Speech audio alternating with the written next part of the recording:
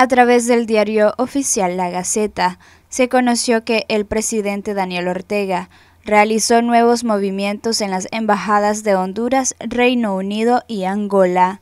En el acuerdo presidencial número 182-2023, nombraron a Roberto José Morales Fuente como nuevo embajador de Nicaragua en el país africano de Angola, cuya sede está ubicada en la ciudad de Angola.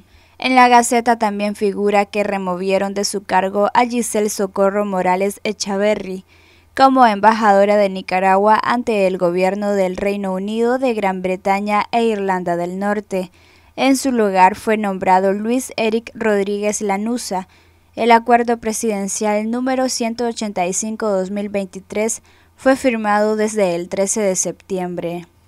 Finalmente, en el acuerdo número 183-2023, fue designada como embajadora en Honduras Iris Audeli Acuñahuete, que ya se había desempeñado como representante de Nicaragua en República Dominicana y recientemente fue sustituida por Harold Delgado. Para Noticias 12, Luisa Centeno.